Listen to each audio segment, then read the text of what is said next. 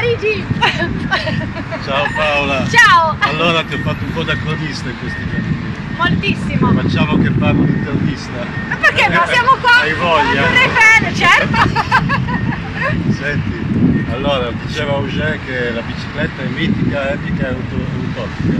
In questi giorni che sei passato in giro per l'Europa, con cosa, cosa hai incontrato, con chi ti sei relazionata, hai cambiato questa prospettiva spazio-tempo, come dice il sociologo oppure Sicuramente concordo col sociologo che la bicicletta è mm, libertà, incontri, emozione, dico sempre che ti fa anche tornare bambino e soprattutto eh, quando sei in bicicletta impari a stare al mondo, impari a rispettare il mondo. Quindi quello che ho trovato in questa lunga traversata di 2700 km da Helsinki fino qui a Parigi eh, mi ha fatto capire quanto sia importante cambiare il modo di, di spostarsi, soprattutto di fare i piccoli spostamenti nelle città tra un paese e l'altro, eh, il back to work, eh, i ragazzi che vanno a scuola, quindi ho cercato di cogliere il più possibile quello che stanno facendo gli altri paesi e portarlo da noi che da questo punto di vista siamo ancora molto indietro. E sulla mobilità cosa hai trovato di interessante nelle città che hai incontrato? Ho trovato interessante ad esempio il fatto che eh, in Estonia eh, a Tallinn i mezzi pubblici siano completamente gratuiti, che è una cosa che secondo me è molto utile soprattutto per l'intermodalità e quindi permettere alle persone di usare i mezzi e, abbinati alla bicicletta e a spostarsi a piedi.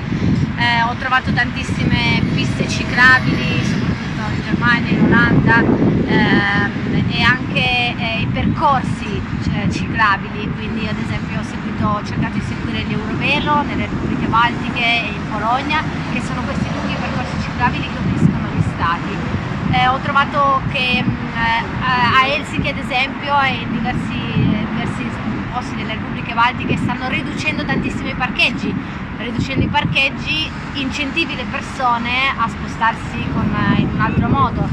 Eh, stanno mettendo anche degli ostacoli sulla strada per ridurre la velocità e tante strade a chilometri orari, ai 30 km orari.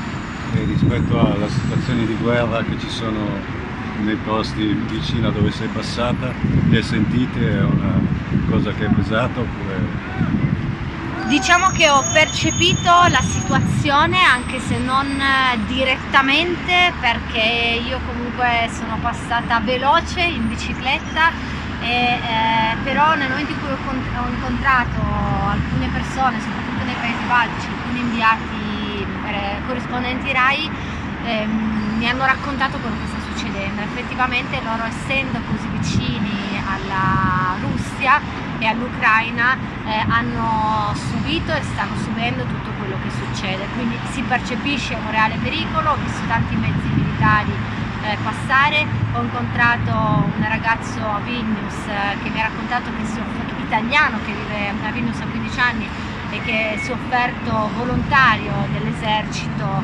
eh, lituano e quindi questa cosa noi, a noi sembra tanto distante ma in realtà è molto più vicino di quello che pensiamo ed è, cioè, ed è assurdo che non se ne parli più perché adesso c'è una concentrazione su, su altre, eh, altre, altre, zone di guerra ma quando invece è super attuale e quando questo ragazzo mi ha raccontato che sua moglie medico ha visto arrivare i bambini con i bus a cui hanno strappato i denti, violentato la mamma, ucciso la madre, ucciso il padre sono cose neanche concepibili e quando te lo senti raccontare in modo diretto da una persona che ha visto quello non, non riesce a dare un significato a cosa sta succedendo.